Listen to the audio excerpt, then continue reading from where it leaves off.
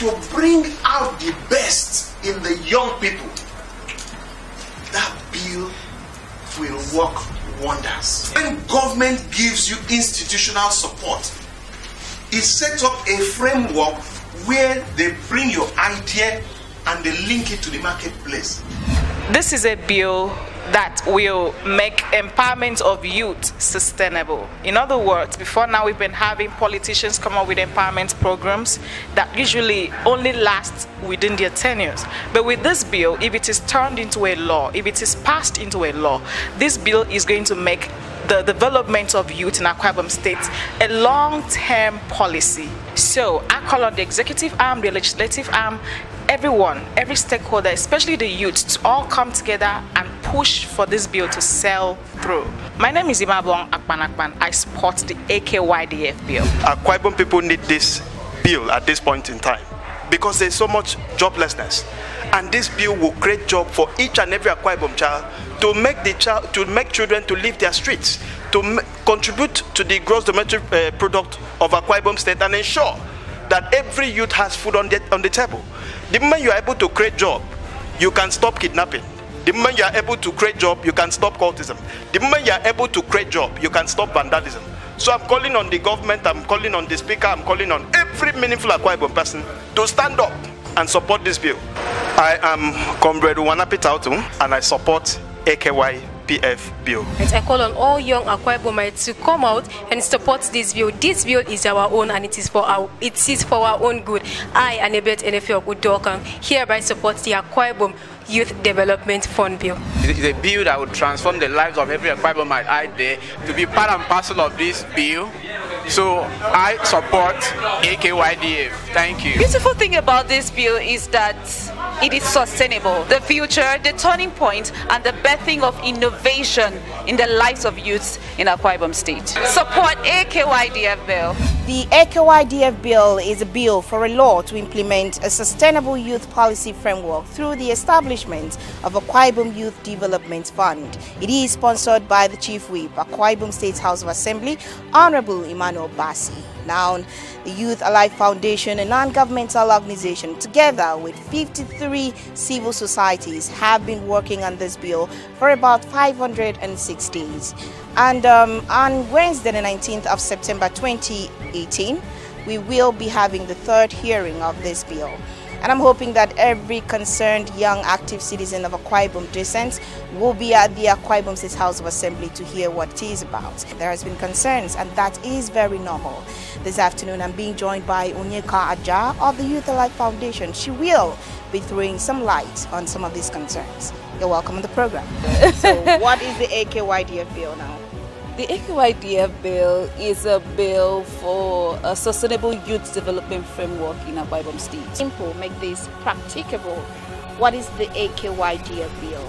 Okay. Can I speak in pidgin? Yes, please. Go ahead. I beg fire down. Okay. Uh-huh. AKYDF be bill. Bill they, they call them law. Wey be say if they put that law for ground, mm -hmm. youth, young people go get work they go you know, when they get idea they go fit get fund wey wey fit support them wey fit help them mm. to fit push the idea forward so basically the AKYDF bill seeks that uh, the average youth the average young person is empowered economically. Recent research places the rate of unemployment in Akwa Ibom at 48.9 percent. That is over 1.5 million people who are either unemployed or working in jobs far below their qualifications, and this figure keeps rising. To address the problems of youth unemployment in Akwa a strategic vision and plan of action for youth in Akwa state is urgently required, especially considering that there is no ratified state youth policy.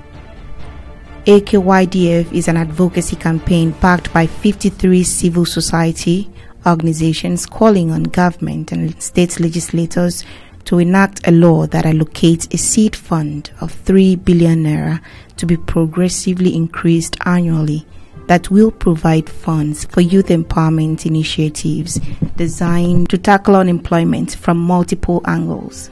Based on research and consultations with various stakeholders, including Ministry of Youth, civil society organizations, and the youth themselves, seven key areas were identified for investment enterprise and entrepreneurship development, labor market research and impact evaluation, transition to work programs, technical and vocational education training, attitudinal social reorientation programs, economic diversification of non-oil sector, technological innovation and agriculture, and funding youth cooperatives.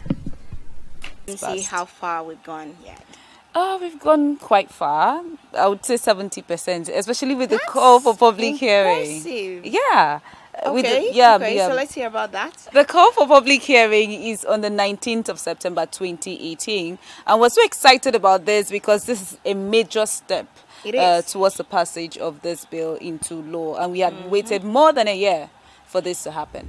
Wow. Yeah. Okay, so where is it happening? Who is invited? Who can come? Can I come? Yeah, sure, sure, definitely. We we'll, we'll love to have you. Uh, everyone can come. Every young person. Aside young people, you could have uh, uh, children as an older person.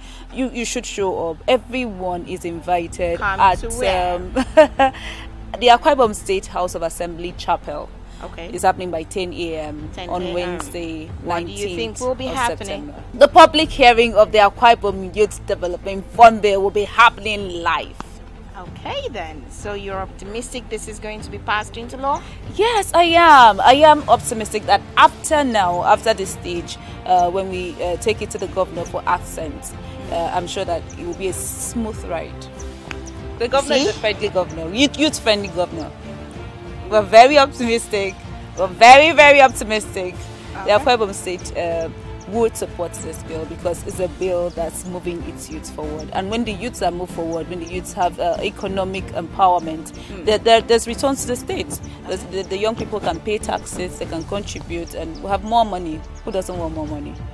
I don't know. well, um, let's see. How much support do you want from young people to get this passed into law? What can young people do to make sure that this is passed into law? everyone, anything? everyone, every young person has something to do. What Put exactly? it up on Facebook. Talk about it. Write a letter to your representative in the House of Assembly you know uh, do a text message to them if you have their number. Um, do a text message to i think there's, there's a public um, a number uh, that you can send questions to regarding things happening to the, happening in the states send a number send a text message to that number. Uh, if you have access to the governor start pushing. You know some people have connection to connection. So if you have access to the governor start pushing. Push on facebook push however you want to push. This is for posterity. This is beyond you. This will last for long. You should support this. Okay is there somewhere we could sign a petition? Oh, yeah, that? yeah, definitely. Okay. Sign the petition to show your support uh, for the AKYDF bill by logging on to www.yafnet.org. You see, uh, you see this, the petition uh, uh signature there box. Uh, you just Okay. Just do the, the, the sign in now there. And of course, the, oh. okay, I want to uh, tell them of our Facebook handle that's Youth Alive Foundation and of course on Twitter, YAFNG very well then.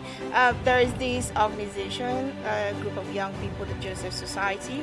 Oh, uh, yeah. would you tell us your relationship, the relationship between Youth Alive Foundation and the Joseph Society? I understand a few months ago there have been sittings, if that's what it's called, mm-hmm. a convergence of young people and some young leaders together to talk on this bill. We are actually going to take excerpts from that.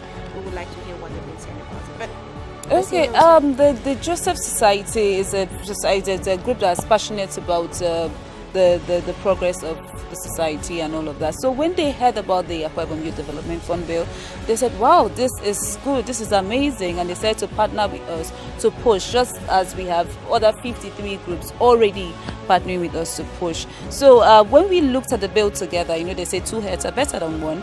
Uh, there were some, uh, uh some things that needed amendment in the bill. So during that particular sitting, we're able to sit together, walk around the bill, and to see how better we can have a bill that um, the executive, everyone, the stakeholders are comfortable with. Today's program has been on the AKYDF bill, a bill for a law to implement sustainable youth policy framework through the establishment of a Akwa Ibom Youth Development Fund, sponsored by Honorable Emmanuel Bassey. Okay, Youth Alive Foundation tells us in strong authority that on Wednesday, the 19th of September 2018, we will be having the public hearing of this at the Akwa Ibom State House of Assembly Chapel.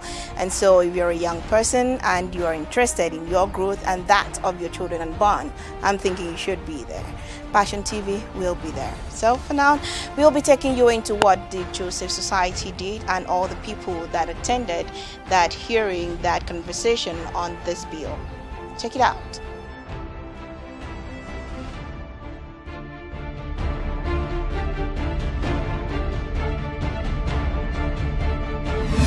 Okay, that has been it on the show today. But just before we go, there are questions and concerns that are begging for answers. For instance, Will the Akwa Ibom State House of Assembly pass this bill into law? Is His Excellency Governor Udom Emmanuel a youth-friendly governor? Will he assent to this bill or not? And if he won't, why? Don't you want to know? Well, I think we'll hear more after this hearing. And until then, keep watching Passion TV. I am Sebasi Valentine.